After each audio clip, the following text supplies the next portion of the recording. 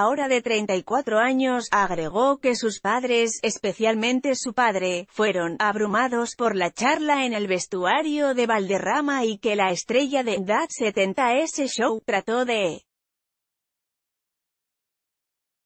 evitar ser responsable de sus comentarios. Recuerdo que en el momento en que trató de explicarlo, que lo atraparon y tal vez lo insinuó más de lo que lo dijo, recordó.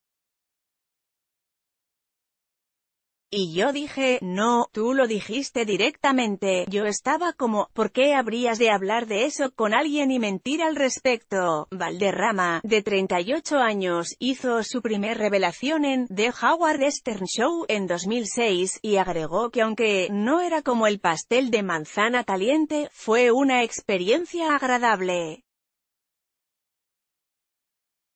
Aún así, a pesar de humillar a Moore en la radio, ella lo perdona y dice que es un buen tipo, y que aún son amigos. Moore también habló con poética sobre su ex Zach Bragg, quien creía que era el amor de su vida cuando estuvieron juntos entre 2004 y 2006. También reveló que el extenista Andy Roddick, que la sedujo desde 2002 hasta 2004, le rompió el corazón, pero que ella no le tiene mala voluntad.